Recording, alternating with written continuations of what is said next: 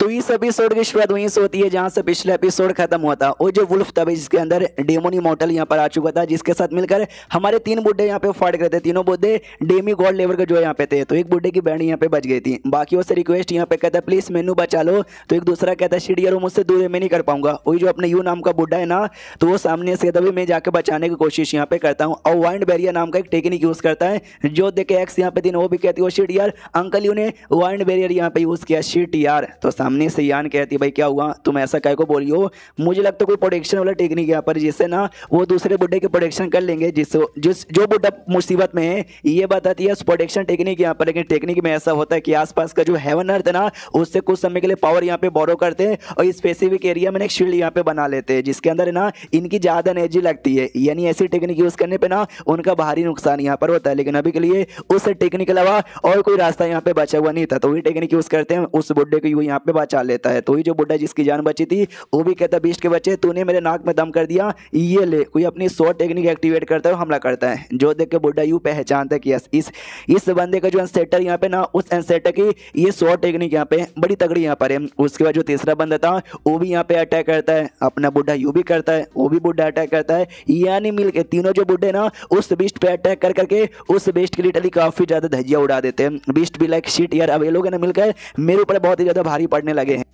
और तभी यहाँ पे देख सकते कि अजीब सा मिस्टीरियस बंदा यहाँ पे था। और जो वुल्फ से यहाँ पे कहता सुनो वुल्फ मेरी जान, मैं तुम्हारे अभी के लिए बस सपोर्ट कर सकता हूँ। बाद में मुझे भी तुम्हारी हेल्प की ज़रूरत पड़ेगी तो करना पड़ेगा। ये भी कहता प्लीज़ प्लीज़ प्लीज़ इस बार कर दीजिए, मैं भी कर दूँगा अगली बार। हाँ तो वुल्फ वुल्फ नहीं भाई। वही जो मिस्टीरियस बंदा ना, वो आगे यहाँ पे कुत्ता है। तीन बूटों के अलावा एक स्नो सोल्जर नाम का जो सोल्जर्स यहाँ पे था, वो भी फट कर रहा था, बड़ा सा हट्टा खट्टा था। तो उन पर अटैक करता है और उन पर उनकी बैंड बजा देता है। अभी के लिए ऐसा लग रहा था कि बुढ़े लोग यहाँ पे जीत रहे लेकिन अब बुढ़े लोग की यहाँ पे बैंड बजने लग जाती है। वुल्फ के अंदर भी जोश आ चुका था, वो भी बीच में उंगली करके आगे बढ़ जाता है। तो ये बुढ़ा यू है ना, वो अपने यंग लेडी से कहता है, जो कि एक्स है तो ही कहते हैं, यंग लेडी जी प्लीज़ यहाँ से निकलिए, हम शायद मिलकर भी रोक नहीं पाएँगे। एक्स कहती है अपने मैं कटा से शेंशी भाई, तुम बैठ के तमाशा क्या देख रहे हो? देख नहीं सकते अंकल, यू यहाँ पे मुसीबत में जाके बचाइए तो ये शेंशी यहाँ पे नहीं है, ये तो भाई क्लोन यहाँ पर है, जो कि थी ना छुड़की सी अपनी यार, उसको बनने को बोला था लास्ट एपिसोड के एंड में, अगर आपको यहाँ पे याद होगा तो तो सामने से भाई इसलिए शेंशी कुछ भी नहीं करता उतने में पीछे साइड से, वो जो छोटे मोटे बुल्फ यहाँ पे थे ना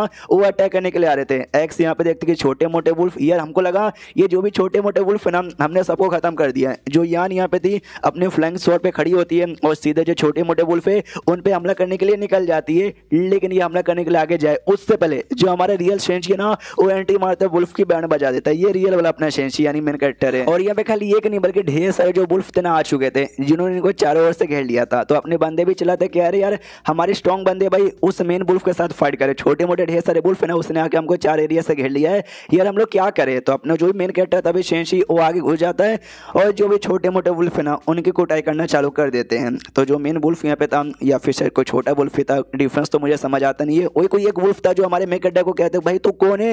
और अचानक से हमारे बीच में उंगली काय को कर रहा है? मेरे बीच में, तेरे बीच में तो कोई दुश्मनी भी नहीं है। ये कहता सुनो। तो ये जो पूरा कांड हो रहा है ना, इस कांड से बड़ा आवाज़ हो रहा है। जी चक में आसपास के रहने वाले जो लोग है ना, उनको बड़ी तकलीफ़ यहाँ पे हो रही है। इसके लिए वो जो तकलीफ़ है ना उसी का बदला यहाँ पे लेने आया हूँ। समझे? ऊपर वाले ने भेजा है, तुमसे बदला लेने के लिए। वुल्फ कहता है, एक सेकंड, जहाँ तक मुझे मालूम है आस पास के ना काफ़ी दूर तक, सौ माइल तक भी ना कोई इंसान यहाँ पर नहीं रहता। ये कहता हाँ लेकिन तुमने सही, जो जानवर यहाँ पर है, उन जानवर को जो परेशान किया, ये कहता कौन से जानवरों का? जो वुल्फ यहाँ पे थे ना, हमने उनकी बोरो यहाँ पे, बॉडी बोरो यहाँ पे किया अपने काम के लिए, और कुछ भी नहीं किया। ये कहता भाई, तूने तूने तूने मेरी बीबी को यहाँ पे डिस्टर्ब कर दिया। तेरे चक्के में वो सो नहीं पा रही।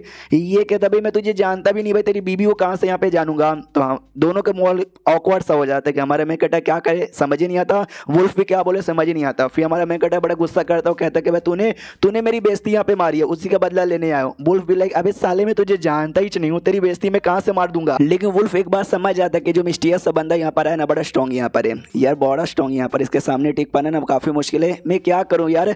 हाँ तो जो मिस्टियस सा ब्लैक ब्लैक जो बंदा यहाँ पे था, वो बंदी यहाँ पे थी, क्योंकि उसके अरमान यहाँ पे दिखते हैं ऊपर ऊपर से। हाँ तो वो फिर से सेम बातें कहते हैं कि भाई मैं तुम्हारी इस बार सपोर्ट कर दूँगा, अगली बार मैनू भी ज़रूरत पड़ेगी।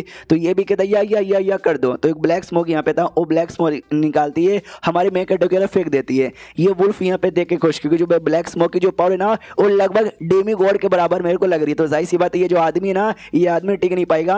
तो ये आदमी यानी हमारा मेकअप ब्लैक स्मोक की धजिया उड़ा देता है। जो देख के ना वुल्फ हिल जाते कह रहे यार, ऐसे कैसे तूने धजिया यहाँ पे उड़ा दी? फिर वुल्फ पे भी हमला करके वुल्फ का मुंडी फाड़ के उसकी जान निकाल लेता है। और कहता है, जैसे तेरी धजिया यहाँ पे उड़ाई ना वैसे ही मैंने ब्लैक स्मोक की भी धजिया उड़ा दी। एंड देन ये चैप्टर यहीं पे खत्म हो जाता है। एक हफ़्ते में इसके एक ही चैप्टर यहाँ पर आते वो भी इतना ऊपर से इतने छोटे यहाँ पे होते इसलिए हफ़्ते में ना इसके एक ही वीडियो से यहाँ पर आते थे और आगे भी आएँगे। तो मिलते किसी और वीडियो में। जब तक के लिए बाय बाय